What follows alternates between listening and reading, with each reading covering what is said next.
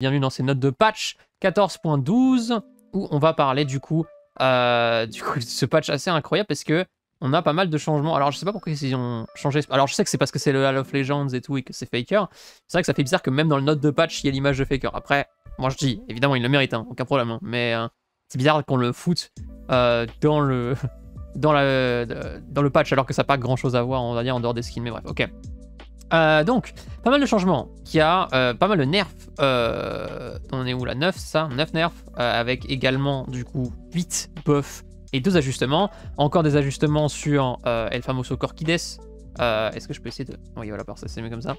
Donc, encore des ajustements sur El Fameux Corki. parce que, évidemment, c'est. On va dire que c'est un champion qui a l'air d'avoir beaucoup de, pro- de, de priorité en compétitif. On va essayer de le dire comme ça. Euh, et euh, notamment euh, 100% de priorité en compétitif. Euh, parce qu'effectivement, les changements qu'on lui a fait font que euh, il est assez polyvalent en termes d'outils de draft, mais ça, je vais certainement en parler dans un draft gap que j'essaye de sortir. On va voir.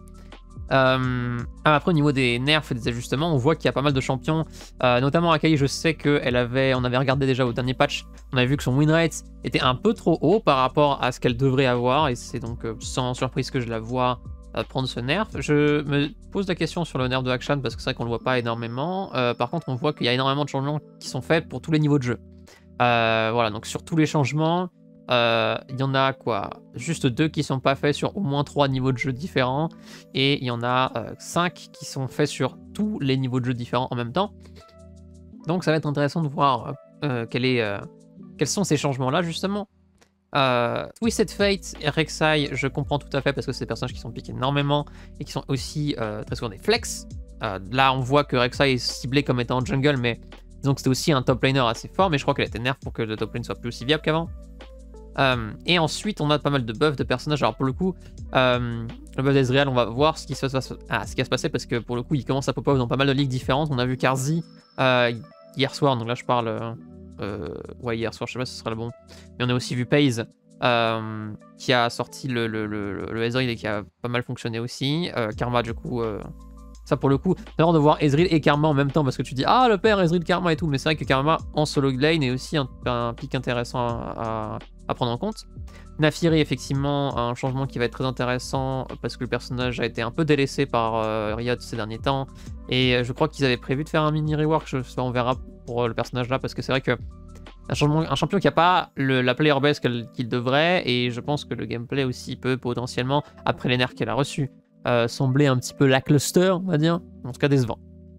Ensuite, on a Nila, Talon, tout ça, pas mal de changements des champions qui sont assez spécifiques. Euh, mais ensuite, pas mal de changements sur les systèmes. Euh, J'ai pas vu les changements sur Dominique, donc on va voir ce que ça donne. Pareil pour First Strike. Euh, J'ai vu ce qui s'est passé avec, deux, avec Noonquiver, donc ça va être très intéressant de voir comment est-ce que le build pass va changer. Et je crois que d'ailleurs c'est ça le changement sur Dominique. Et ensuite, Static Shift, bon, on va voir. On va voir un peu. Void Staff aussi.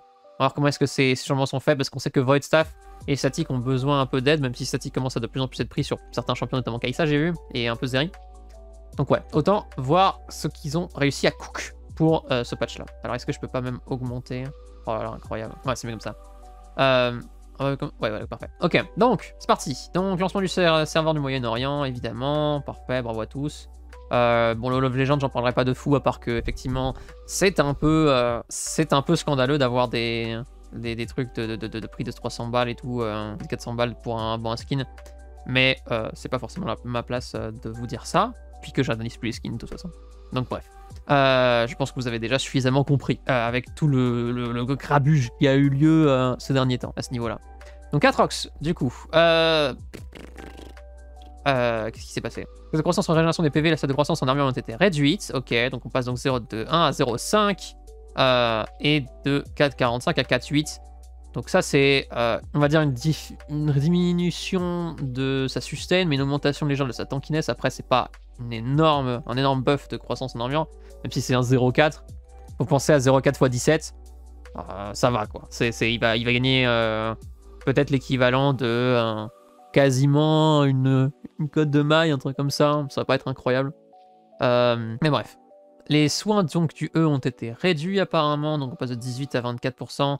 Euh, donc ça c'est les soins en général hein, qu'il a en passif à 16% plus 0,9% des PV bonus. Alors ça pour le coup je me pose la question pourquoi est-ce que euh, ils disent que les soins ont été réduits parce que le scaling de 0,9% des PV bonus, certes il est diminué du coup lorsque tu maxes le E et que tu as un ou deux items, mais lorsque tu passes à, dès que tu passes à genre 3 items, on va dire que les régènes augmentent drastiquement. Donc ouais, compliqué. compliqué d'équilibrer ce genre de truc. On verra si le changement sur ça va, vraiment amener à un personnage qui sera drastiquement différent. Mais on voit déjà qu'il cherche à faire en sorte que l'utilisation de Bruiser de Atrox devienne prévalente euh, par rapport à l'utilisation de létalité, parce qu'ils ont marre dans Atrox qui one-shot des gens, ce qui je pense est normal, d'autant plus que généralement un Atrox qui parle létalité a de fortes chances d'être quand même assez tanky. Donc là, on va dire que pour récupérer les soins de la ruée obscure du E, euh, il faut du coup euh, build des estimations plus tanky. Donc ça veut dire potentiellement faire moins de dégâts. donc on va dire que ça se counter. Pour retrouver un peu une sustain euh, actuelle, il faudra acheter plus d'objets euh, tankiness, mais du coup tu feras en contrepartie moins de dégâts. Donc tu te soigneras un peu moins. C'est un peu comme ça que ça fonctionne, je suppose. Et les soins de ruée obscure ne sont plus augmentés de 20 à 36% euh, pendant Fossoyeur des ombres. Alors, du monde. Alors ça c'est un truc intéressant parce que je me doutais bien que, que les personnes qui s'utilisent, qui font le patch en français allaient faire l'erreur lorsque je l'ai vu sur Twitter. Donc on va juste vérifier. Voilà. Euh, donc ils mettent increased by. Sauf que je pense pas que ce soit le cas, en fait. Euh, donc apparemment, c'est pas que les Français. Donc c'est tous les gens qui font les patch, euh, les patch notes. donc, en fait, ce qui se passe, c'est increased to. C'est pas increased by. En fait. et je comprends pas pourquoi est-ce que les mecs qui font le patch n'ont pas ça. Et en fait, c'est une énorme, enfin, une énorme donnée, on va dire. Euh, lorsque lorsqu'on parle de ce genre de, de, spell. Parce qu'en fait, rien qu'un seul mot, ça change énormément la valeur de, du nerf. Parce que là, on parle de euh, soins euh, qui sont déjà à 24% par exemple. Et en fait, lorsque tu, tu appuyais sur Ultimate, sur le team, en fait, ça augmentait à 20 jusqu'à 36. Et pas, ça augmentait de 20 jusqu'à 36%. Vous voyez le truc? Donc, je sais pas si c'est lequel des deux est le, est le vrai. Ce que je sais, c'était que euh, pour avoir été genre sur le Lalytics et tout et avoir tapé genre euh, Atrox, euh, avoir regardé genre le E par exemple, ce genre de truc, et avoir vu le truc qui avait écrit effectivement, donc pas bye mais tout du coup. et sur le wiki c'était pareil. Donc est-ce que c'était effectivement genre, est-ce que c'était vrai ou est-ce que c'était une typo du wiki ou est-ce que c'était une typo en jeu et ça fonctionnait différemment? Je sais pas. Tout ce que je sais moi derrière c'est que on va dire que euh, ça, ça, ça, on va dire que ça a pas mal d'impact sur euh, comment est-ce que ça va impacter le, le, Comment on appelle ça? Ça va avoir pas mal d'impact sur le, les buffs en eux-mêmes et sur les nerfs. Parce que soit il perd jusqu'à 36% de heal, soit il perd 12% euh, de heal. Donc c'est très différent si vous voulez. Parce que là, du coup, derrière, on a le World Ender coup qui augmente les soins lorsque tu es sous air. maintenant, donc de 25 à 45% à 50-100%. Donc ce que j'ai compris, c'est que, euh, en gros, la manière dont ils essayent de faire le balance, ok? Parce qu'avant, il y avait que des valeurs flat de healing. Donc une valeur flat de healing du E, une valeur flat de healing du R et une valeur flat du E sous R, ok? Donc 24% euh, qui passe à 36% et 45%, euh, ok? Ce qui équivaut du coup euh, en ulti à un truc du genre 75, euh, c'est ça? Non, pas 75. Euh... Si, 60, 81%, c'est ça, 81% de heal. Ok Si j'ai bien compris. Oui, 81% de healing. Ok Maintenant, on passe à du coup de 50 à donc, 100%. Donc le healing passe à 100% de augmenté. Mais du coup, ça, c'est une augmentation je suppose, des healings dont il dispose déjà. Donc ça lui donne pas du vol de vie, ça lui augmente les healings qu'il dispose déjà. ce qui veut dire que par exemple, euh, en fait, c'est pas une addition en fait. Maintenant que j'y pense, c'est pas une addition en fait. C'est-à-dire qu'en fait, c'est 45, 45% euh, de ces sources-là, on va dire. Je pense que c'est additif plutôt que multiplicatif. Je suppose que c'est comme ça que ça fonctionne. Euh, et donc, ce qui veut dire, c'est que si tu veux bénéficier de l'increase healing du R, il faut que tu augmentes la valeur du, du healing du E, et donc que tu prennes des HP. Si tu prends pas d'HP supplémentaires, tu resteras à 16% et du coup l'augmentation va être moins bien. Vous voyez le truc? Qu'en fait, ça, ça n'a pas la même valeur que ça. En fait, on, est, on passe pas à 116%. Ce que je viens de dire avec les 80%, c'est de la merde, ok? Euh, En tout cas, c'est comme ça que je le vois, je suppose. Euh, non, ça c'est en anglais, ça. My bid, my bad, my bid. Lol. Euh... Non, non, ça, tu peux forcer les joueurs à acheter des PV, à améliorer l'efficacité de ses soins personnels. Sur létalité devrait être moins intelligent sur lui, il y a un peu, les soins sont eux devraient être moins forts, et la de grand Ok, très bien, ok. Donc voilà, c'est pour dire que euh, je pense qu'il va devoir, on va dire, euh, parce qu'en gros, c'est ça. Si vous regardez le E, en fait, c'est il heal des dégâts qu'il fait. Donc ça augmente, ça induit du vol de vie. Enfin, ou de, de, l'omnivamp, du coup. C'est plutôt de l'omnivamp. Ça, ça, il, il crée de l'omnivamp avec son E, ok le R, il augmente les soins qu'il se donne. Donc ça crée pas de, de l'omnivampirisme, si vous voulez. C'est très compliqué à comprendre, mais genre juste, euh, sachez que maintenant, c'est un peu moins fouillis dans son kit de sort. C'est juste, son E, c'est ça. S'il veut se régénérer plus, il faut qu'il augmente ses PV. Et euh, ça, ça a augmenté, ça, la valeur des soins qu'il obtient euh, en fonction de ses dégâts n'est pas augmentée, mais la valeur de ses soins tout court est augmentée via son ulti, ok? Donc bref, tout ça pour dire que euh, techniquement, c'est plus un équilibrage pour que le heal soit à peu près pareil. Euh, si il ulti et que il est euh, si il ulti et que il est comment on appelle ça qu'il a des estimations de tankiness on va dire. D'ailleurs on le voit. Les gens maintenant 14.12 mais déjà avant le, 14.11 on voyait qu'il y a des gens qui partaient Eclipse d'autres qui partaient ensuite Profane Hydra des trucs comme ça de, de full létalité si vous voulez. Et là maintenant en 14.12 on est sur Big Thunder Sky Big Cleaver Blixterak et en gros on a un peu enlevé, euh, la dépure de son équation parce que l'équation parce que euh, en fait euh, on se rend compte que c'est pas c'est plus quelque chose qui est viable lorsque tu veux régénérer tes HP. Voilà. Donc voilà, c'est fini. changement qui est certainement ok tiens même si c'est vrai que du coup ça diminue un peu on va dire la, diversité de build d'Atrox et ça enlève des possibilités de gameplay. Mais c'est vrai que lorsque ces possibilités de gameplay deviennent trop compliquées à équilibrer pour le jeu ou que engendrent des effets un peu indésirables on va dire, notamment dans le cas d'Atrox, euh, le problème d'avoir genre euh, d'avoir un personnage qui tank et qui fait des dégâts et qui se régène en même temps, euh, ça devient un peu problématique on va dire pour le personnage et pour l'équilibrage du jeu en général. Parce que tu t'arrives et en fait c'est comme si en fait on joue, tu, jouais un assassin, enfin un, ADC tu vois, et en fait il y a un Darius full létalité qui arrive, il te met un Q et tu meurs instant, tu vois. Ça ça fonctionne pas comme ça si vous voulez, ça, ça, peut pas fonctionner comme ça un bruiser. les bruiseurs ils sont censés avoir des gros sorts mais qui font pas des énormes dégâts, si vous voulez. Parce qu'ils sont, ils ont, ils sont short range et qu'ils doivent, on va dire, également publier de tankiness pour pas crever, on va dire. Sauf que, en fait, si on a un personnage, euh, genre un cassanté qui te met mid-life sur un Z, par exemple, ou, euh, je sais pas moi, euh, j'allais dire une Poppy qui te, qui te met mid-life en chargeant, mais c'est ce qu'elle fait déjà, mais genre, vous avez compris, quoi. Un truc qui vraiment te, one-tap avec un sort de bruiser, c'est pas normal, quoi. Donc bref, euh, d'autant plus avec la tankiness qu'ils ont. Donc, normal, nerf normal pour Atrox, complètement euh, ok, tiens. Ok, Akali. Euh, les dégâts totaux de son E passent de 100 à 450, plus 80%, 85% des, dégâts d'attaque totaux, plus 120% de votre puissance. Ok, donc ça c'est la, valeur de base. Et ça passe à 70, 350, plus 100% des d'attaque totaux, plus 110% de la puissance. Ok, donc c'est-à-dire que ça le, le, ratio AD a été augmenté, mais ça on s'en fout à la limite parce que tu fais jamais de l'AD avec le personnage. Après, c'est des dégâts d'attaque totaux, donc c'est surtout que ça scale en fonction de, tes niveaux en général, plus qu'autre chose. Mais euh, Akai n'est pas forcément le personnage qui est censé avoir énormément d'AD en général, et la force adaptative se convertit de toute façon en AP. Euh, le ratio AP est baissé, mais à la limite on s'en fiche, parce que c'est pas le E qui fait les dégâts, techniquement. Euh, le E, il te sert euh, principalement, on va dire, à proc ton passif, à mettre de la distance pendant que tu reviens sur ton Q-spell, et on va dire à temporiser légèrement le reste de ton sort, le reste de ton kit de sort, notamment ton ulti qui revient, je sais pas, genre ulti 1, ulti 2 instant par exemple. Donc bref, c'est un, outil qui est plus que juste un petit dégât, donc c'est normal que les dégâts soient nerfs, et surtout que, effectivement, je trouve que c'est une bonne idée. Euh, ça, pour le coup, je sais que les nerfs, on les montre pas. Euh... si, on les montre, c'est ça. Les nerfs, c'est marrant parce qu'ils montrent un nerf, on va dire. Euh, là, je suis pas d'accord pour le coup. Ils, font un nerf et ils le mettent pour average, skilled, elite et, et pas pro. Alors que pour moi, c'est plutôt les deux derniers tiers que les premiers tiers, parce que pour le coup, une Akali qui touche son E, c'est pas une Akali qui est euh, Silver, tu vois. à, moins que, à que les Silver sachent déjà utiliser le combo RE, hein, genre. Et encore, c'est pas tous les E qui sont, euh, qui sont instantanément mis sur le combo RE, donc je, sais pas trop. Euh, c'est effectivement le cas. Si c'est chiant un peu, viteuf pour essayer de lasser les mais je pense que ça sera pas trop le cas, on va dire. en plus, une... je suis pas sûr que ce soit la capacité que tu max, même en deuxième, on va dire, avec Akali. je sais pas écrire.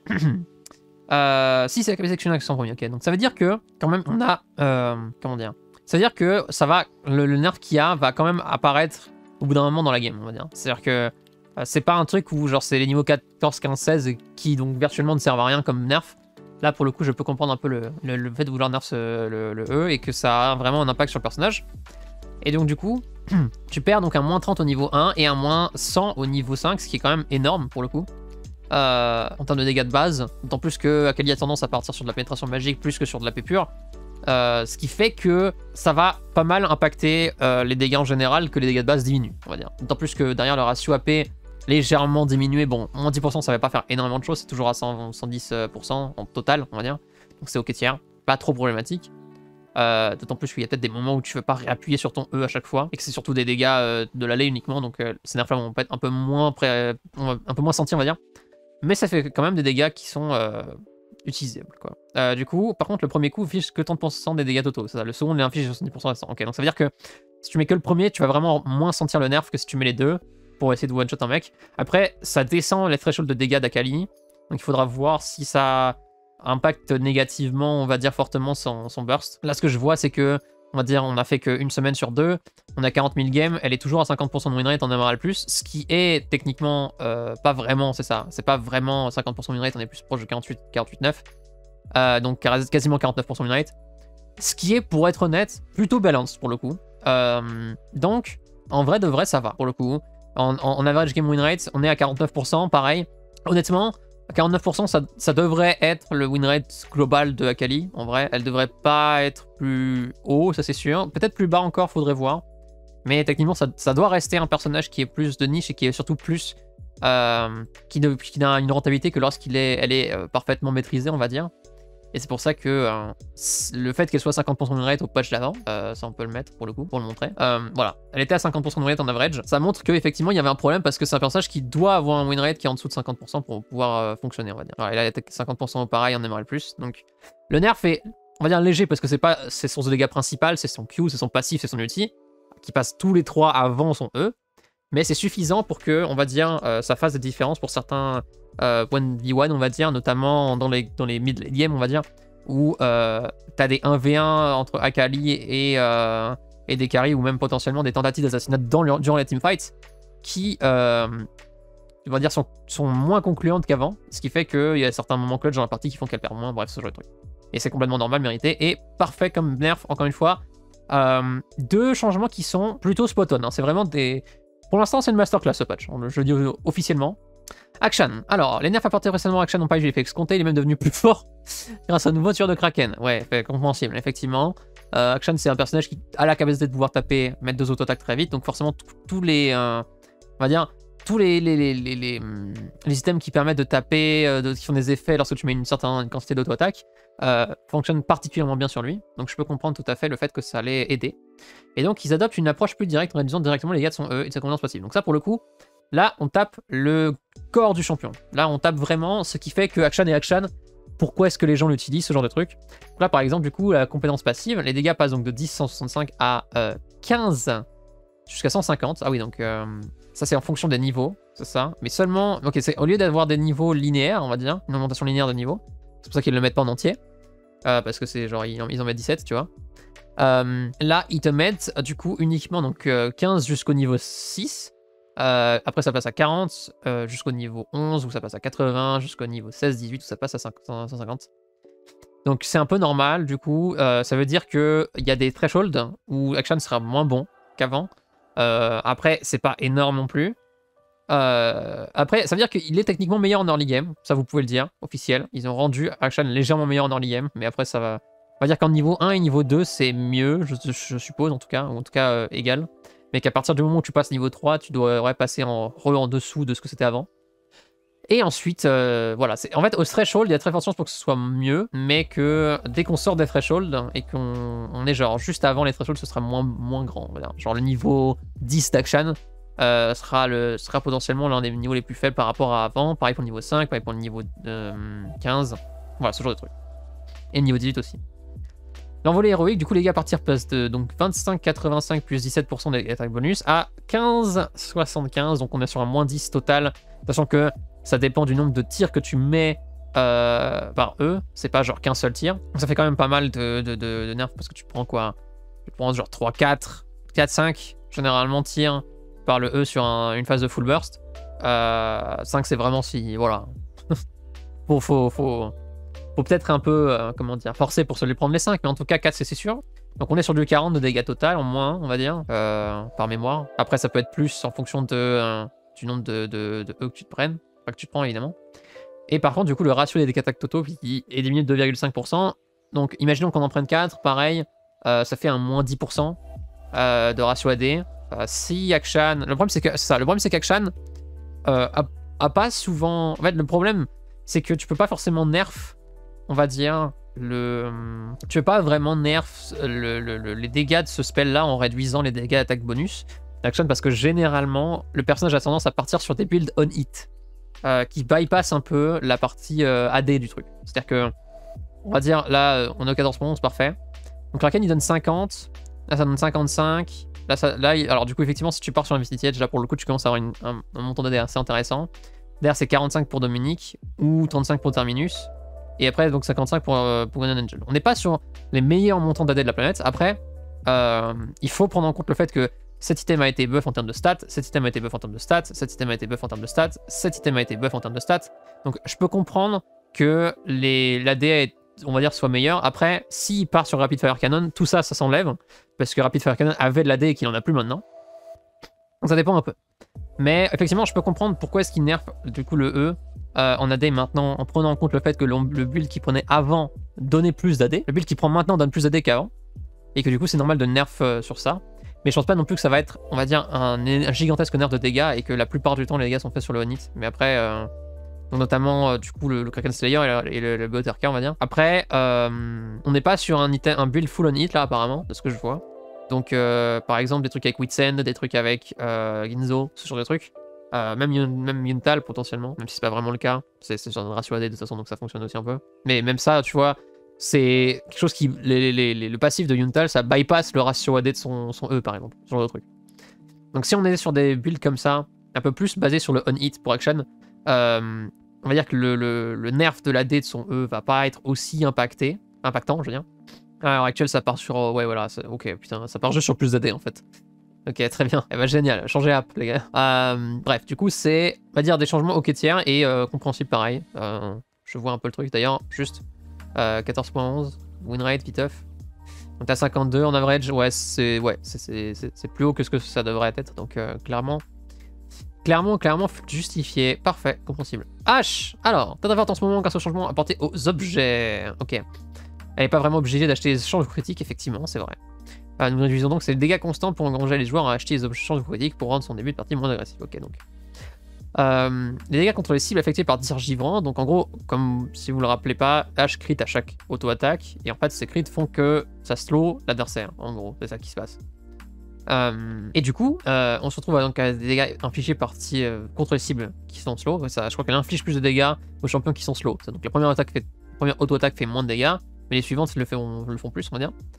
Et donc, par contre, du coup, euh, on était à 120% de dégâts euh, lorsque les cibles étaient euh, infligées par le tir givrant, on va dire, plus les charges aquatiques, à 115%.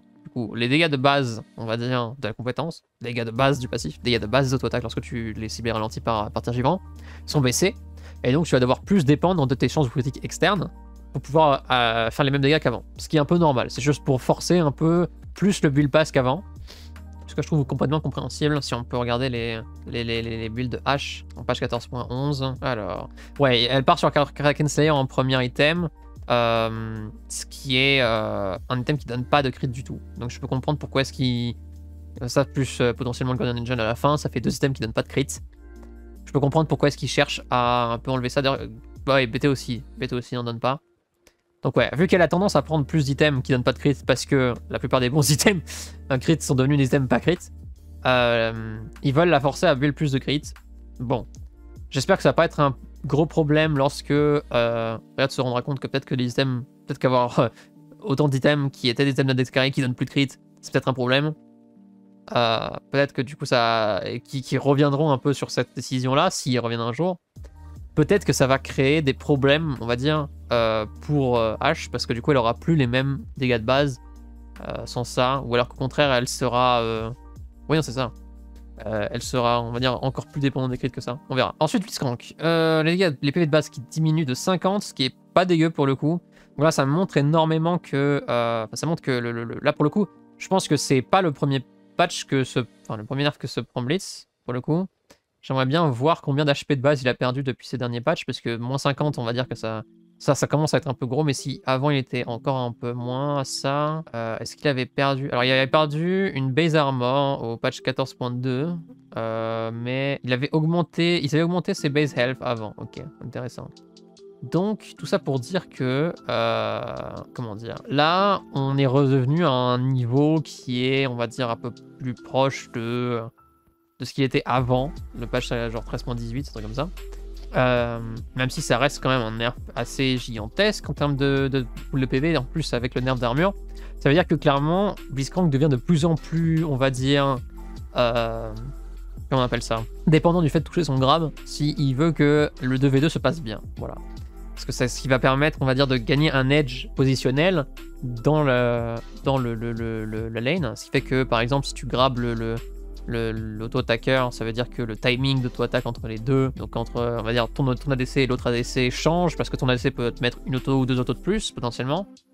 Euh, ce qui fait que le duel peut durer moins longtemps, euh, et que donc toi, tu auras moins de dégâts à prendre, ce genre de truc. Normal, et la barrière de mana qui, donc, a une durée, par contre, qui augmente de 4 secondes à 10 secondes. Après, il faut se dire que euh, très souvent, la barrière de mana n'est pas, pas activée, on va dire, dans les bons moments, on va dire. C'est-à-dire que euh, très souvent, tu prends genre un vieux poke de merde et en fait, ça, ça lance la barrière de mana, elle, elle genre, elle, elle, euh, on va dire, elle arrête genre deux, deux dégâts, tu sais. Et après, elle reste quelques secondes et après, on s'emmerde, on, on s'emmerde parce qu'il n'y a plus rien. Là, si elle passe à 10 secondes, peut-être que ça laisse le temps au joueur de Blitzcrank de réagir et de lancer, on va dire, une offensive lorsqu'il voit qu'il y a la barre de passive. Euh, peut-être parce qu'il pense que du coup le, shield qu'il va obtenir avec la barre de mana va lui permettre d'avoir une différente outcome euh, dans le teamfight. Pourquoi pas Euh, Mais en dehors de ça, je pense que euh, le changement la plupart du temps va pas forcément trop, trop être impacté. Par contre, ce qui est sûr, c'est que, alors encore plus qu'avant, hein, parce qu'avant c'était déjà un peu le cas quand même avec 4 secondes, ce sera pas possible de juste attendre que la barrière s'enlève, on va dire. C'est-à-dire que vraiment, en mid-late game, tu vas être obligé de passer cette barrière de mana euh, si tu veux taper Blitzcrank. Généralement, le problème, c'est que le personnage a pas grand-chose pour se défendre à partir du moment où il a claqué tous ses sorts, donc euh, ça n'a pas changé grand-chose pour, euh, pour lui. Mais on va dire que ça va quand même aider le, personnage, au moins pour les, pour les, les, les- problèmes de lane, on va dire. Corki, alors on en arrive enfin à ce problème. le fameux problème de Kikor. Le but de la réforme de Corki était de transformer en une brute de début de partie facile à jouer. Ah, merde Vraiment, parce qu'avant c'était toujours un scaling, mais bon, ok, très bien. De ce point de vue, c'est un succès, même un peu trop, voire beaucoup trop un succès. Les dégâts de son E avec ses objets détectés sont tout pas importants, ok. Modifions donc un peu pour réduire les dégâts en début de partie. Ok, il y a de la marge avant que ce soit trop, on va, on va voir ça. Hein. Euh, et nous faisons du A, une alternative viable à améliorer en premier à la place du E, quoi qu'il est fort mais pas complètement plus puissant. Ok, très bien. Les dégâts d'attaque de base ont été réduits. Euh, passe de 55 à 52, bon ça, ça change pas énormément de choses à part pour les buts de létalité à la limite. Mais pas un truc énorme non plus. Euh, mon tour d'AD, ça va. Euh, la salle de croissance vitesse d'attaque a été augmentée. Ça, c'est ok tiers parce que ça permettra, on va dire, euh, quand il met plusieurs auto-attaques qui one-tap euh, plus tard dans la partie. Même si c'est genre pas énorme non plus en termes de croissance vitesse d'attaque, mais pourquoi pas. Derrière les A, donc les dégâts magiques, donc tu ah, passes de 70 250 à 70 270. Ok, donc on passe à, un petit plus 20 au niveau 5 de dégâts. C'est pas un truc énorme pour être honnête. Par contre, au niveau du ratio, il gagne 30% de ratio AP pour aucune raison. Ok. Pourquoi? Parce que là, pour le coup, ça n'a aucun sens de partir sur ça comme buff, parce que, genre, personne ne va acheter de l'AP sur Corki. Genre, c'est fini, les gars. C'est... Il fait plus de dégâts magiques. Euh, il a pas... On n'a toujours pas d'item qui fait... euh, qui donne des, des- de, de l'hybride, c'est-à-dire qu'on n'a pas d'item dans LoL actuellement qui donne de l'AD et de l'AP, ça n'existe pas. Et euh, du coup, je comprends pas trop quel est le but de lui donner ça, sachant que personne ne va vouloir partir sur de l'AP, ou partir sur genre de la, de la létalité, ou de partir sur des crits. Donc, euh, ouais, à part sur, évidemment, euh, si on parle de, encore une fois, les enchanteurs et le staff of flowing water, ce genre de trucs, source externe d'AP, mais même ça, on va dire que ça va pas être un truc si gigantesque que ça, on va dire. Le délai de récupération passe donc de 9-7 euh, secondes à 8-6 secondes. Euh, D'accord. Après, c'est bien parce que en, early game, ça va te permettre de peut-être plus euh, spam la compétence. Je sais plus, je crois qu'ils avaient réduit le euh, cooldown de la bombe de phosphore, histoire. Enfin, pas le, le court mana, je veux dire. Parce que. non, ça passe à 80. C'était, avant, c'était 100, mais genre. Ouais, tu vas pas vouloir spam cette compétence de toute façon, même si tu, tu as un dé de récupération qui est plus faible, parce que à 60 points de mana, tu le sens quand même. hein, et quand ça passe à 80, t'inquiète pas que tu vas le sentir si tu pars pas sur Manamune. Euh, donc ouais. Est-ce que tu pars sur Manamune avec Corki C'est... Euh, non. Ok, parfait. Il y, y, a certains Corki que j'ai vu avec Manamune, notamment, euh, je crois en NA, je crois, je sais plus. Euh, mais ouais, vous voyez que, bon, à part si tu prends effectivement euh, la fausse spectrale, pour le coup, ça c'est vrai. Euh, si tu pars sur la fausse spectrale, il y a moyen de, de contrecarrer un peu le problème de mana, mais en dehors de ça, ouais, le personnage euh, va pas genre spammer son Q comme ça pour aucune raison. Et si t'as la fausse spectrale, généralement t'es dans un moment de la partie où avoir 20 dégâts supplémentaires n'est pas euh, un buff de fou. Gatling, donc les dégâts physiques euh, passent de 100, 300 à 100, 280. Euh, ça, à la limite, on s'en fout pour le coup. Genre, vraiment, moins 20 de dégâts, on s'en fiche un peu. Même si ça fait un peu moins pour le Force Strike. Mais de toute façon, Force Strike, le but, c'était pas. De toute façon de, faire énormément de dégâts. Maintenant, c'est plus de le proc souvent. Euh, la réduction d'armure et de résistance magique maximum passe de 12-24 à 12-20. Ça, c'est un peu plus chiant quand même. Pour le coup, parce que perdre 4 de létalité, c'est plus les dégâts en moins. Ça va commencer à faire un truc un peu chiant. Et le coût mana qui augmente un peu. Euh, bon, plus 20, ça fait ça fait un peu mal pour le coup. Donc ça, là pour le coup j'ai vraiment l'impression qu'il essaie de forcer le build, euh, le build enfin faux spectral je veux dire, ou Manamune. Donc soit Manamune lorsque tu pars sur le corps qui létalité, soit faux spectral lorsque tu pars sur le corps crit. Mais euh, le, le, le, fait qu'il n'y ait pas de ratio d'AP sur la Gatling, euh, plus, je crois que le, ratio AP sur, la, sur le, multi est pas incroyable. Mais il n'existe plus en fait. D'accord, donc je, je, je, pile de la de l'AP pour, euh, pour la phosphore bombe et pour la Valkyrie en fait. C'est ça qui se passe. Pourquoi c'est 50% là alors que c'est 100 Je sais pas. Bref. Ok, donc ça sert à rien. Euh, ouais, donc bilan, on va voir un peu. Je crois qu'il y a le Force qui est changé dans ce, dans ce, ce patch. Et si c'est le changement que j'ai vu sur, le, sur Twitter, il va y avoir un gros coup sur Corki Létalité. Je sais pas s'il va survivre pour le coup euh, et que ça va peut-être plus devenir un Corki Crit. Euh, après, en dehors de ça, ça a l'air d'être un, champion qui est toujours aussi bien, on va dire, la plupart du temps. C'est juste qu'il a été légèrement nerf à pas mal de spots clés, notamment le E, et que euh, bah, en, en, contrepartie, il a gagné des trucs qui sont pas si utilisables que ça, notamment le cooldown sur le, A et le ratio AP. Donc, euh, ouais, le champion est moins fort, mais c'est pas non plus drastiquement genre moins fort et dans, une, dans un, un espèce d'entre-deux un peu bizarre. Sachant qu'il était déjà dans un entre-deux bizarre en termes de compétitif où c'était pas suffisant pour le ban apparemment, euh, mais euh, tu te retrouvais quand même dans une situation où tu devais le pick, et si tu devais pas le pick, il fallait avoir un counter de près. Donc euh, voilà, on verra un peu comment est-ce que qu'est-ce que ça donne, on va dire, sur le, au niveau du personnage en général. Ezreal Ezreal est devenu très faible avec les changements apportés au top du patch euh, 14.10, effectivement. Il affiche en moyenne 4% moins de dégâts qu'avant, mais ses autres statistiques restent les mêmes. Ok. Donc ça monte les dégâts en fin de partie. Ok, donc la seule croissance des dégâts qui augmente un peu, voilà, ça aide un peu, mais c'est pas non plus gigantesque. Mais pour le coup, c'est vrai que ça, c'est une stat qui touche énormément de spells de, de, de, Ezreal, et même si au final il va gagner genre, euh, je sais pas moi, 5-6 d'AD euh, en, en late game, ça reste quand même plutôt intéressant euh, pour le coup. Le tir mystique, les dégâts passent donc de 20, 120, pareil, les mêmes choses. Ok, c'est juste le ratio AD qui augmente de 10%, ce qui est pas dégueu pour le coup, parce que tu vas en mettre des Q pour le coup. Donc euh, tu auras le temps de sentir un peu le buff de dégâts. Et derrière, les dégâts de l'ulti passent de 325, 625 à 350, 750. Donc tu vas gagner 75, c'est ça, de dégâts supplémentaires sur ton ulti. Euh, ce qui va quand même aider pas mal le, le fait de, comment dire, le wave clear, on va dire, du personnage. Donc ça peut être vraiment pas dégueu comme, comme changement en général. Et derrière, euh, du coup, le fameux, euh, le fameux Q en plus de ça. Non, ça fait des changements qui sont vachement euh, sérieux et solides, on va dire, pour, euh, pour Ezreal. Et euh, je pense que le personnage a une place dans la méta de toute façon, parce que à, dans une époque où on a des Corki ou des Tristana qui te foncent dessus, avoir un personnage qui est plus poke et qui joue un peu plus euh, dans cette espèce de long range euh, et qui peut essayer d'un peu esquiver le combat, ça peut être intéressant. Voilà. Euh, D'autant plus que Ezreal a, a, des outils de disengage avec son E, donc euh, ça peut être intéressant à voir. Karma. Alors, les PV du bouclier et la durée du bonus sur vitesse d'attaque ont été augmentés. Il y a une vitesse. Non, des déplacements, ok. C'est moi qui lis mal. Donc, euh, le bouclier passe de 80, 260 plus 60% de puissance à 80, 280. Bon, c'est pas, pas gigantesque, mais après, il y a l'augmentation des, des shields qui passe derrière ça, donc euh, pas forcément, euh, c'est pas uniquement ça qu'on va devoir regarder. Euh, La durée du bonus en vitesse déplacement passe de 1,5 à 2 secondes. Ok. Donc ça, pour le coup, ça aide beaucoup pas mal de personnages qui jouent pas mal sur l'engage et sur le fait d'arriver à une certaine distance de l'adversaire. Le PV bonus, donc, euh, du E en mode défi, euh, qui ont également été augmentés apparemment. On passe de 50-170 à 50-100, enfin 50-200, on va dire.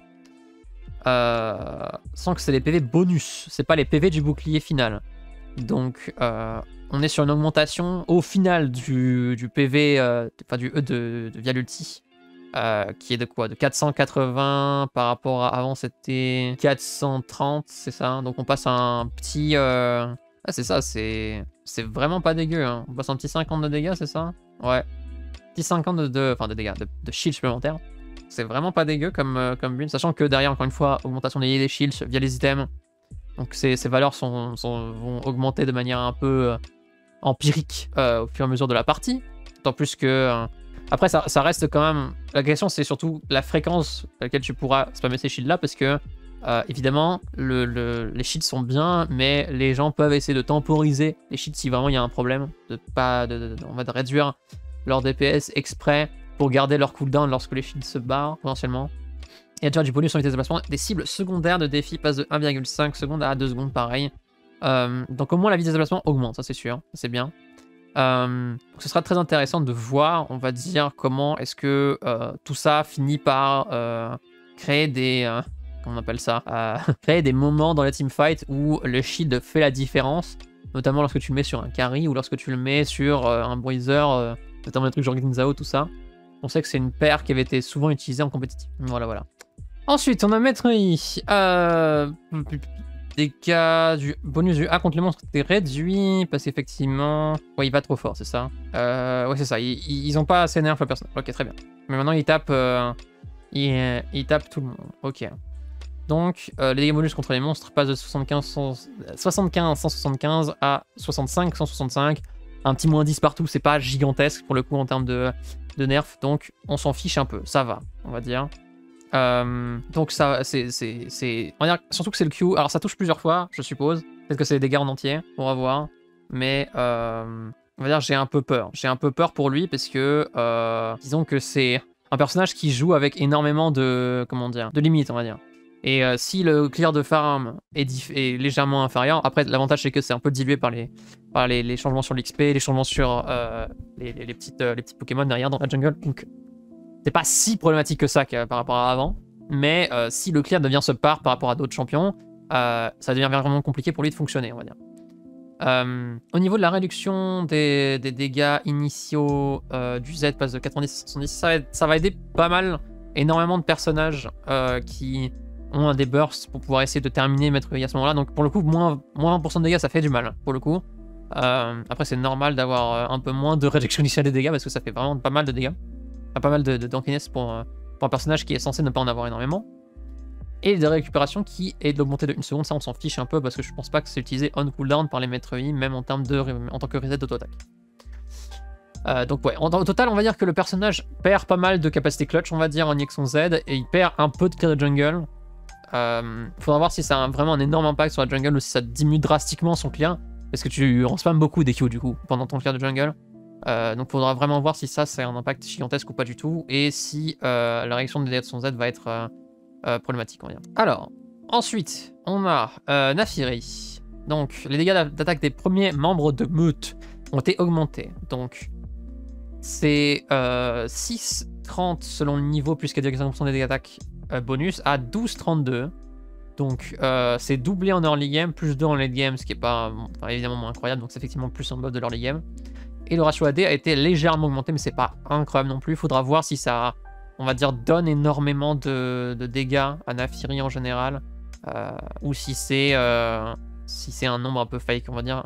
Euh, parce que on va dire que déjà les dégâts de base, ça fait un peu plus de bien. Pour l'IM, il faudra voir si ça crée vraiment des trucs ou pas du tout. Et derrière le seuil d'exécution du Q, sur les sbires et les monstres moyens grains, passe donc de 30-70 à 30-70 contre les sbires et les monstres non épiques. Ok. Euh, donc ça veut dire que son Q fait moins de dégâts sur les cibles gigantesques, c'est ça hein? Ouais, c'est ça. Donc sur les, sur les trucs du style Nashor, tout ça, euh, je suppose que ça n'augmente... Il n'y a pas la plus de seuil d'exécution, je suppose que c'est comme ça que ça fonctionne. Euh, ouais, c'est ça, hein. je suppose que c'est comme ça que ça fonctionne. Ou alors ça prend en compte des, des monstres que je connaissais pas, ou genre des, des, spécificités particulières. Mais bref, ok. Euh, et ensuite, donc les soins contre une équipe, une cible affectée par saignement passe à aussi champion et monstre grand slash épique. Ok, donc ça permet un peu de sustain dans la jungle et aussi lorsque tu fais des objectifs notes, ce qui est pas dégueu du coup pour le personnage, et de récupération qui a été baissé de 2 secondes ce qui est pas dégueu, franchement, en lane. Euh, après, c'est une compétence que tu finis par maxer, donc c'est vraiment que dans les 3-4 premiers niveaux. Mais euh, ça a quand même, on va dire, une incidence dans la lane parce que c'est la compétence que tu spams. C'est la compétence que, on va dire, tu, euh, cherches à utiliser, on va dire, au total, on va dire. Donc, ouais, compréhensible. ouais, donc c'est un buff sympathique, mais pas un buff incroyable non plus. On va voir comment est-ce que tout ça, on va dire, crée des très chauds de dégâts et des one-shots pour, pour Nafiri. Euh, parce que ça peut aider pas mal, le, on va dire, la viabilité du personnage, vu que c'est un assassin, évidemment, qui est énormément dépendant de ses thresholds de kill. Euh, Nila, alors, donc, Nila, la régénération des PV est augmentée de 2, ce qui est ok tiers, mais pas gigantesque. Euh, et derrière, cette croissance en armure est augmentée aussi. Donc, c'est-à-dire qu'elle est plus tanky en général, ce qui est pas dégueu pour elle. elle va bien aimer. on va voir un peu, parce que on va dire que Nila est aussi dépendante pas mal des paires qu'elle peut peut créer avec d'autres personnes. Euh, on sait qu'il y a des paires du genre Nila Sena qui existent et qui peuvent créer pas mal d'économies rien que par leur simple existence, on va dire. Donc notamment euh, le, fait de euh, comment dire le, fait d'avoir de, des, des, goals supplémentaires pour la Sena et d'un autre côté de gagner plus d'XP grâce à Nila, ce genre de truc. ça fait qu'on finit par avoir deux personnages qui sont assez forts en général dans la, dans la game. Euh, ça va dépendre pas mal de l'utilisation de Nila dans les drafts parce que c'est toujours un champion qui a assez trick à utiliser, mais ça peut être un champion qui peut fonctionner dans certains cas précis. Pourquoi pas On verra. Rexay, donc la vitesse d'attaque de A a été réduite, ok. Donc elle, elle, attaque un peu moins vite, ce qui veut dire que potentiellement dans les terrains jungle ça va être un peu plus chiant pour elle. Ok, tiers. Euh, et du coup, les dégâts du Z ont été réduits, ok. Euh, ce qui est normal parce que c'est le premier coup et je pense que c'est pas le coup qui est censé faire des dégâts aussi élevés, on va dire. Euh, donc, passe de 50 à 150 plus 80% de puissance à 30, 130. Euh, donc, c'est du moins 20 à tous les rangs. je pense que c'est ok tiers. C'est pas forcément la source de dégâts principale de Rek'Sai, donc ça va pas énormément taper son DPS. C'est pas comme si tu utilisais ton jaillissement sur genre plus d'une fois dans un, dans un affrontement. Donc, clairement pas un truc qui va être si impactant que ça, quoi, on va dire. Euh, la vitesse d'attaque va être un peu chiante pour Xay, mais euh, on va dire que c'est surtout un problème de, de clear de jungle plutôt que un problème de, de, vraiment de dégâts, de 1v1, de skirmish sur le truc. Skarner, donc, euh, tout ça, tout ça. Euh, de base ont été réduits, donc il passe à ok, 40 en moins, donc certainement que les premiers niveaux vont être un peu plus chiants pour lui en termes de 1v1 en top lane, mais après le reste, c'est pas énormément impactant. La croissance PV, donc c'est pour vraiment, donc c'est le fait d'augmenter la croissance en PV, ça veut dire vraiment on fait ce nerf là pour la top lane et pas pour la pour la pour la jungle et surtout on fait ce nerf là pour l'early game et pas pour le late game. Ok. Euh, et les compétences passives ont été ajustées, ils disent. Donc ça veut dire que du coup c'est quoi? C'est 7-10% selon le niveau d'épée max de la cible à 5-11%. Donc ça fait plus de dégâts en, en late game, moins de dégâts en early game, mais ça inflige moins de dégâts que ça en inflige plus de dégâts. Enfin bref, vous avez compris. Le nerf est plus gros que le buff. Euh, donc ça veut dire qu'il va être légèrement moins fort dans les, vraiment dans les skirmishes en, début de partie. Est-ce que ça va aussi pas mal infliger, enfin pas mal euh, affecter les dégâts de, euh, comment on appelle ça? Les dégâts de Skarner dans la jungle et donc son tir de jungle, potentiellement. Après, euh, je pense pas que ça devrait non plus être un personnage qui devrait avoir un clear de jungle si fort que ça. Donc pas si problématique si il décide de faire en sorte que ça y est, Skarner a un clear qui est pas aussi élevé que ce qu'il a maintenant. Talon. Euh, des récupérations du Q diminue désormais à mesure que la vitesse d'attaque augmente. Ok. Euh, c'est bien parce que ça va l'aider un peu en, en les games certainement. Euh, peut-être que ça va lui permettre d'avoir un truc bizarre avec Halo Blade, mais je pense pas vraiment. donc en vrai de vrai, genre là, en, voyant un peu, en voyant un peu tout ça, je me dis que c'est pas si, c'est pas si impactant que ça parce que c'est pas comme s'il obtenait énormément d'items de d'attaque. Genre, peut-être qu'en late game, vraiment, ça va aider parce que, euh, genre, c'est le genre de personnage qui euh, a tendance à avoir, genre, peut-être une croissance des attaques qui fait que l'auto-attaque devient plus rapide que le Q et donc ça peut lui faire perdre du DPS au final. Euh, mais en dehors de ça, je pense pas que ce soit si impactant que ça en général. Ensuite, on a le modificateur de dégâts du, au monstre, euh, donc de ratissage, euh, qui ont été mis à 100% ou de 105%. Je sais pas si ça va vraiment être un énorme changement sur, sur le personnage. Les dégâts à l'aller passent de 40-80 à 50-90. Bon, clairement, je pense que c'est un équilibrage. Franchement, là, c'est basiquement 9 Burger. J'ai pas énormément de. J'ai pas énormément de, de, de, de choses à dire. C'est vraiment genre. Le Q est légèrement plus rapide. Ils ont peut-être fait moins de dégâts, mais plus quand même. Genre, ouais, quasiment, quasiment rien a été fait sur le personnage. Ring mer, les dégâts d'attaque bonus du Q ont été réduits. Ok, donc il va évidemment se compenser parce qu'effectivement il est devenu plus fort avec le 14.10 parce qu'il gagne plus d'AD et que les systèmes crit ont été buff. je peux comprendre qu'ils équilibrent à ce niveau-là, même si pour le coup, euh, perdre 5 d'AD au niveau 1, ça fait très... Enfin, niveau 2, ça fait très mal, pour le coup. Donc euh, ouais, après je suppose que tu maxes ça en premier maintenant, je sais plus. Je sais pas si tu maxes ça en premier, mais de toute façon même, sans ça, euh, on va dire que tu perdras quand même 5 de dégâts en early game, ce qui sera un peu chiant.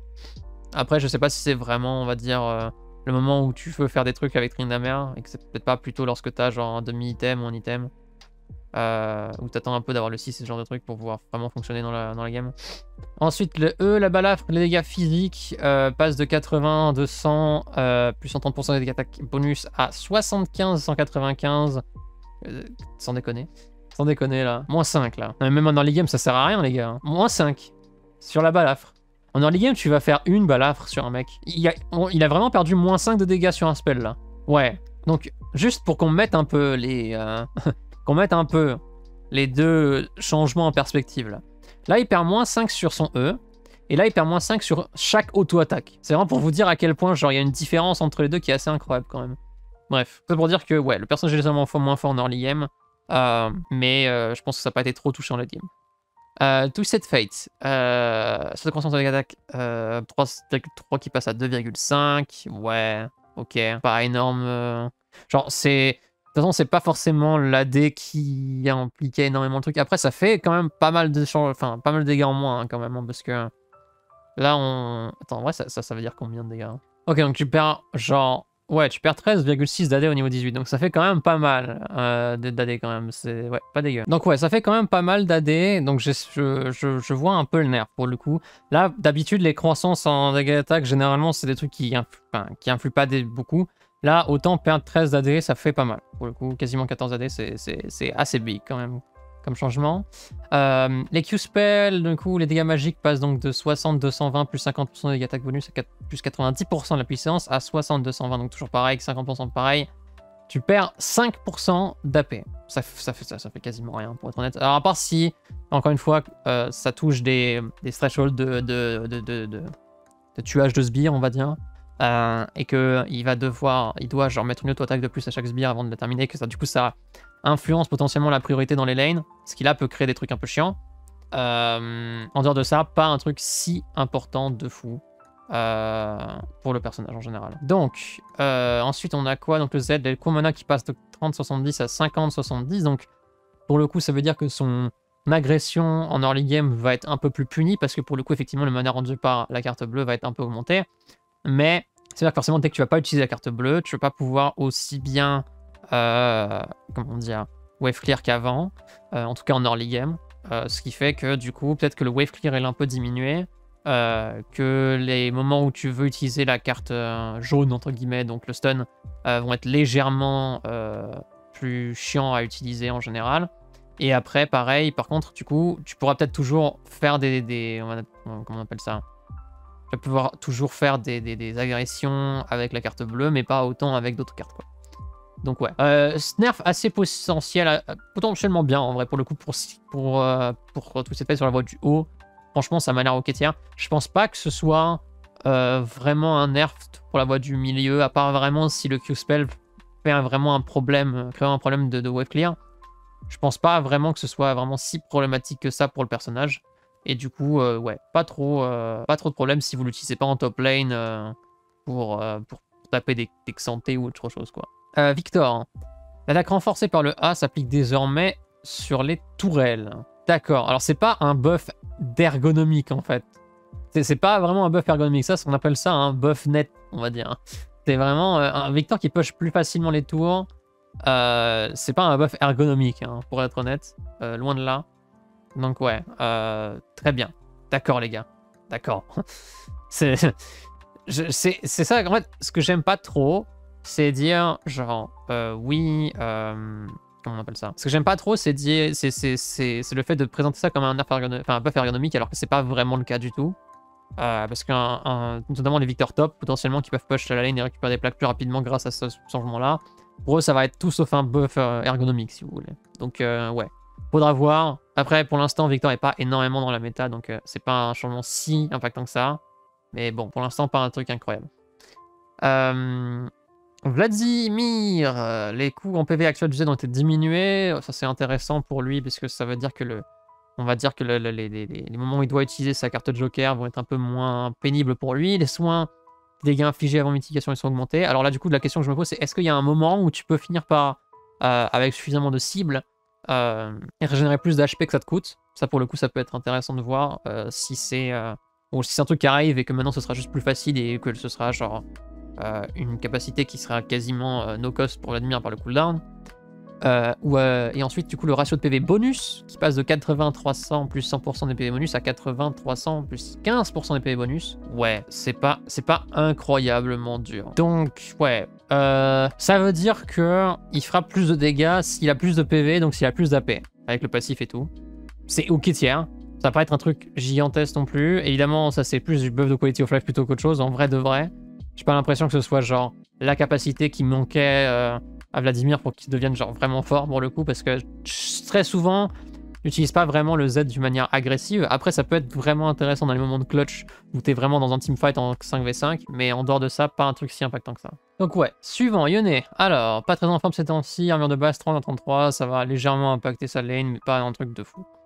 Euh, Yumi, euh, de récupération de son E passe donc de 12-10 à 10 secondes à rangs. Génial. Pas sûr que ça va vraiment changer le personnage euh, fondamentalement, même en early game. euh, parce que de toute façon, le problème de Yumi va aussi être le problème de, mana, on va dire, plus qu'un problème du E. Donc, euh, on va dire que ça va pas foncièrement augmenter le nombre de E qu'elle peut mettre en, en lane de toute façon. Euh, chapitre final, du coup, un des soins par coup qui sont augmentés de genre 10. Alors, même si, pour le coup, il y en a genre plusieurs qui sont mis, donc peut-être qu'avec l'augmentation des des shields, ça va créer des heals vachement plus importants. Mais euh, je suis pas sûr que. Est-ce que, ça va être être suffisant? Je sais pas. Je pense pas trop. Je pense pas trop. Alors, donc, ensuite, les objets. Donc, ah oui, c'est ça, c'est bien ce qui me semblait. Donc, il n'y a pas de changement sur Dominique à part le changement sur le build pass. Donc, au lieu d'avoir ce dernier souffle plus cap d'agilité comme c'était depuis très très très très longtemps, euh, maintenant c'est dernier souffle plus carquois zénithien. Donc, ça, qu'est-ce que ça change? Déjà, première chose, carquois zénithien, la recette passe donc de épée longue plus cap d'agilité plus 450 PO à épée longue plus épée longue plus cap d'agilité plus 100 PO. Donc, euh, les dégâts qui passent à 20 derrière parce que euh, parce que du coup ils avaient il avait il avait il avait je sais pas. Non c'est juste un nerf normal. Ok très bien. Juste un normal. Donc en gros ce qui se passe c'est que euh, maintenant le même si le carte positive donne moins d'AD et donc ça c'est chiant pour le coup ça veut dire que le build pass pour faire Dominique est moins nul qu'avant. Avant c'était vraiment genre tu, tu achètes genre le dernier souffle et après on s'emmerde. Vraiment clairement c'est cap d'agilité dégueulasse genre vraiment build pass horrible. Mais par contre, du coup, maintenant qu'on a le zénithien par-dessus, ça veut dire qu'on n'a plus juste la cape d'agilité, qui d'ailleurs est toujours présente maintenant. C'est juste que maintenant, on a deux épées longues supplémentaires, ce qui veut dire que là, on est à quatre épées longues dans le build pass.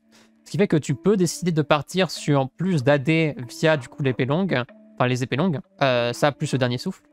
Euh, ce qui permet du coup derrière de prendre l'AD en, enfin, en priorité par rapport aux chances de qui sont moins intéressantes potentiellement. Et donc ça rend du coup l'item plus fort en early game, potentiellement.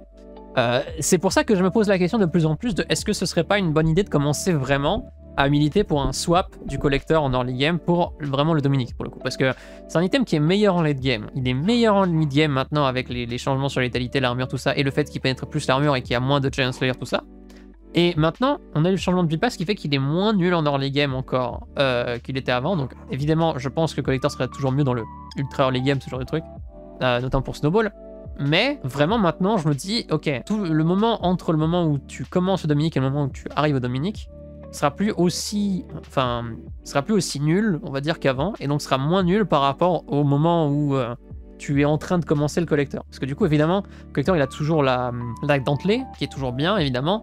Le truc, c'est que la dague dentelée a été nerf, plusieurs fois même d'ailleurs, euh, ces derniers temps, ces derniers patchs. Et euh, d'un autre côté, du coup, le Dominique, lui, il y donc on a toujours le dernier souffle qui est toujours la même chose. Lui, donc c'est toujours, je crois, 18%. Euh, c'est Last Whisper. C'est ça, on est à 18% d'armure pénétration, donc ça reste quand même pas dégueu en termes de létalité donnée. Plus 20 daté. Euh, tu peux faire avec des Landswords. Ensuite, derrière, il y a les Carquois si vraiment t'as pas d'argent. Euh, donc vraiment, je me dis, il y a peut-être moyen que cet item devienne vraiment intéressant pour le coup. Donc ouais, potentiellement, item qui est fort plus que en mid-late game potentiellement un bon pic en early aussi. Donc euh, vraiment à surveiller parce que cet système vraiment a reçu des buffs assez importants ces derniers temps. Et euh, à part si on est vraiment dans les fringe cases de un, personnage qui a énormément de HP et pas énormément d'armure, ça, a l'air d'être un, item qui est vachement intéressant à, privilégier. Donc, suivant, à partir de tout ça, la fronte de l'éclaireur, donc euh, un des objets plus faibles du jeu, effectivement. disons que c'est un passif qui est intéressant, mais je suppose qu'ils avaient envie un peu de, le nerf volontairement parce que c'était un. Alors, je sais pas du tout comment est-ce que j'arrive sur ça. Euh. Faut que j'arrive en anglais. Scoot Slingshot, putain, quel blaze de fou. Donc, ouais, je comprends que du coup, le fait d'avoir des, dégâts on-hit techniquement euh, qui sont réduits à chaque seconde, pas, pas d'une seconde à chaque fois que t'auto-attaques, euh, peuvent être intéressants. Le truc, c'est que tu sens dans les chiffres que c'est juste pas suffisamment bon, on va dire, pour que l'item fonctionne, selon moi en tout cas.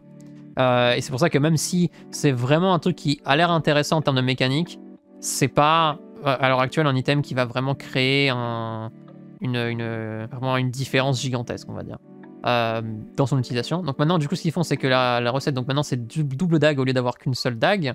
Ce qui fait que, en plus, ils baissent les coûts totaux.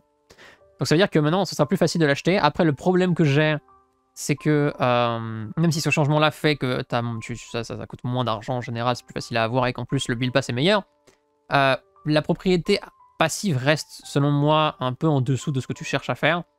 Euh, donc ouais, après je sais pas si c'est si sur un champion. non, c'est... Attends, bah, one second en attaque, c'est ça. Donc c'est juste auto-attaque, ok. Ok, ok, ok. Donc peut-être que du coup si tu spams les auto-attaques sur les sbires, peut-être que tu peux récupérer le, le, passif plus, plus facilement. Mais ouais, disons que c'est très particulier comme système et je sais pas si juste ces changements-là vont aider. Je pense qu'il est peut-être plus en avoir de meilleurs chiffres en général. Ensuite, poignard de statique, euh, assez puissant en ce moment, mais je ont besoin d'un peu de temps pour intégrer leur achat, c'est vrai. Du coup, ils changent la recette pour passer à fond de l'éclaireur, plus plus pioche, plus 225 PO, ce qui pourrait être vraiment pas, pas mal intéressant pour le coup. Euh, j'ai vu qu'il y a des trucs, il y a des moments où c'est utilisé, utilisable, pourquoi pas. Euh, maintenant que ça a été buff pas mal de fois, on va dire. Euh, dans les derniers patchs, si je me trompe pas. Euh, tac. Ouais, ils avaient, ouais, ils avaient fait ça. ils avaient fait ça, effectivement, je me rappelais. Euh, maintenant qu'ils ont fait énormément de changements dessus, ils font juste un changement, on va dire, de build pass pour que ce soit plus facile d'utiliser la composante AD de l'item, parce qu'effectivement, maintenant que tu donnes genre 55 d'AD, effectivement, avoir une pickaxe, c'est pas dégueu pour le coup. Donc je, je, je, je considère qu'effectivement, c'est une très bonne chose d'avoir mis cette pickaxe sur le build pass de l'item. Donc ouais, j'ai toujours un peu le somme que ce soit plus un item crit, pour le coup, chose de dire, mais euh, ça reste un, item qui peut être intéressant dans certains cas avec certains personnages, euh, donc pourquoi pas, on va dire à la limite. Et ensuite, bâton du vide, la puissance qui augmente, c'est pas dégueu, le truc c'est que, encore une fois, le problème qu'on a avec le bâton du vide par rapport à euh, l'autre item qu'on appelle donc le Bloom, c'est que euh, c'est comment dire la Ace donne énormément de valeur et à l'item en général.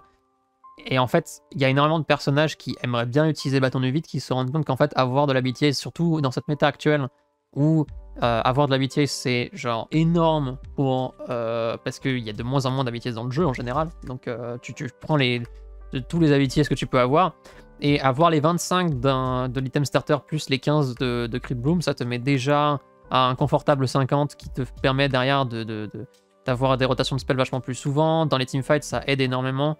Et même si avoir 10 AP, c'est bien, la question c'est est-ce que les dégâts vont être meilleurs que la BTS Et surtout, le passif de Crit Bloom, qui donne un heal en zone, euh, qui est quasiment assuré de toucher toutes les personnes qui sont encore en vie.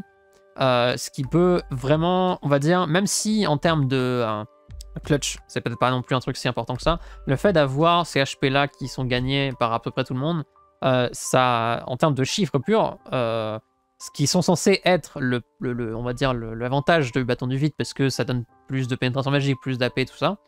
bah, ça, ça finit par donner beaucoup d'avantages à Cribloom dans les teamfights. Donc, euh, je, je, je, pense que le bâton du vide va continuer d'avoir une, une, place un peu moins intéressante dans la méta, tant que Cribloom sera en vie, ou en tout cas avec autant d'abilités. Serilda, euh, les propriétés passives, donc maintenant, ok. Ils ont juste fait un buff qui fait que maintenant la pénétration d'armure bonus euh, du coup de, de, sa propriété passive passe à 25% au lieu de 20%. Si je trouvais très très bien, parce que pour le coup, euh, c'est vrai que le problème qu'on avait sur Serilda depuis même le 14.1, c'est qu'on se rendait compte que la pénétration d'armure de Serilda ne valait pas celle du Dominique, euh, largement pas. et que même si tu stackais énormément de létalité, tu finissais pas par avoir la pénétration que tu cherchais pour un assassin. Parce qu'à la limite, pour un ADC, c'est normal de pas avoir autant de, de, on va dire, de pénétration parce que c'est un peu tout le truc des assassins. Autant pour les assassins, euh, c'est très important d'avoir euh, la pénétration d'armure nécessaire, d'autant plus qu'ils n'ont pas de crit, en tout cas très peu. Euh, ce qui fait que je pense que avoir les 5% de buff, surtout après le fait que Dominique ait pris les 5% de buff aussi, ça aide beaucoup le Serilda à rester compétitif et je pense que c'est un très bon buff pour le, item qui de toute façon, même avec sa version nerfée, était quand même le meilleur item létalité, je pense, selon moi en tout cas de très loin. Donc ouais, euh, largement, largement nécessaire et largement euh, validé pour WOM. Allez, enfin, les runes. Donc, premier coup. Alors, qu'est-ce qui s'est passé? Donc, les PO fixes gagnés par proc passent de 15 à 10 et l'amplification des dégâts passe de 8 à 7%. Ouais, la rune a pris un giga coup pour le coup. Ça me fait assez mal de le voir. Euh, donc déjà que le patch 14.10 avait énormément, pas renforcé la rune, mais surtout qu'elle avait changé la manière dont elle fonctionnait. Ce qui fait que maintenant, c'était plus une histoire de taper, on va dire, la cible en premier de manière répétitive. Répétée, c'est ça? Pas répétitif, répété.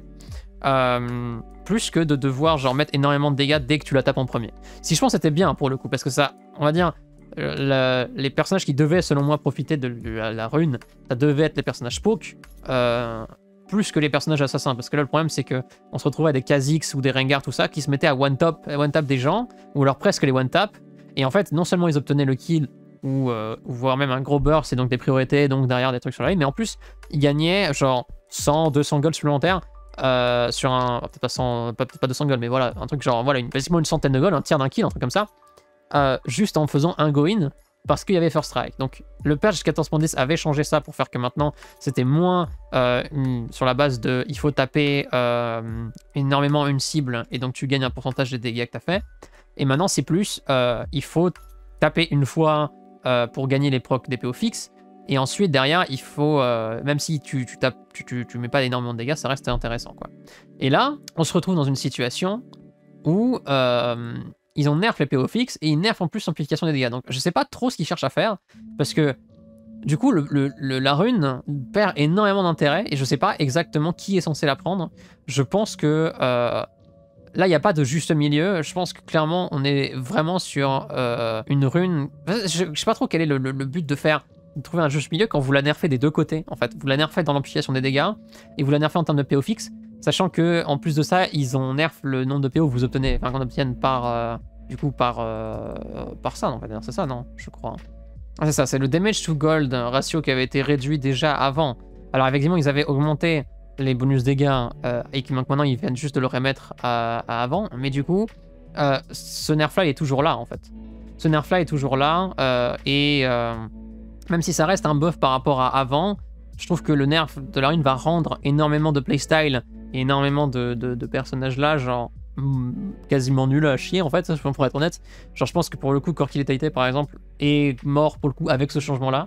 Euh, parce que son nerf a ses dégâts de base, plus le fait que premier coup maintenant a subi énormément de nerfs euh, en général, font que euh, l'item Enfin la rune n'est clairement pas assez forte par rapport à ce qu'elle devrait être enfin plus assez forte maintenant avec les nerfs qu'ils ont fait.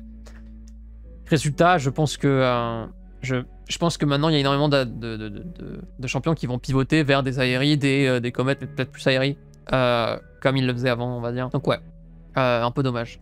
Les runes recommandées qui sont changées, génial. je vais pas forcément regarder beaucoup de choses parce que bon, ils ont juste envie de, de montrer ça, mais c'est juste des trucs, c'est pas forcément des trucs de gameplay, surtout les, les, trucs qui vont être recommandés aux joueurs.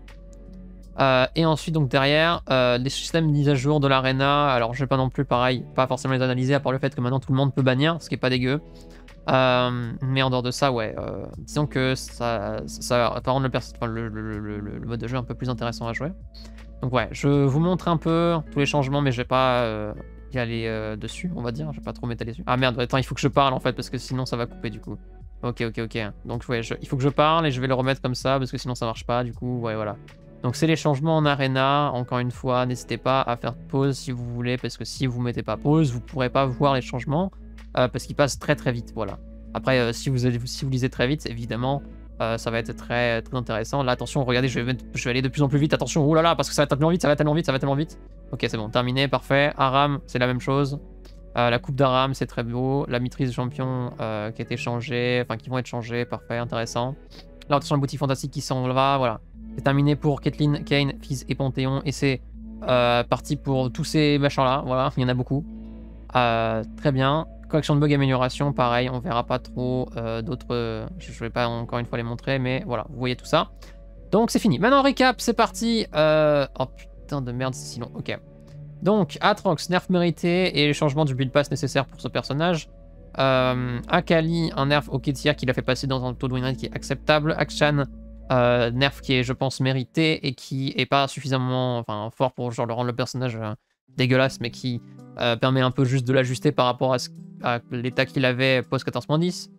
H, pareil, à peu près la même chose. Euh, Blitzcrank, on va dire que c'est un nerf en early game, euh, mais on va dire dans les teamfights en mid late game, c'est un léger buff, parce que de toute façon, ça va pas forcément euh, changer beaucoup de choses en ce qui concerne sa rotation de spell.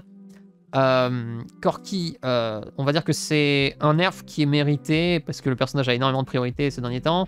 Euh, mais de l'autre côté, on va dire que c'est euh, très. Comment dire euh, Ils ont supprimé avec les changements First Strike le, le, le, létalité, donc ça réduit un peu le, le build pass et la diversité que du global champion, ce qui est un peu chiant.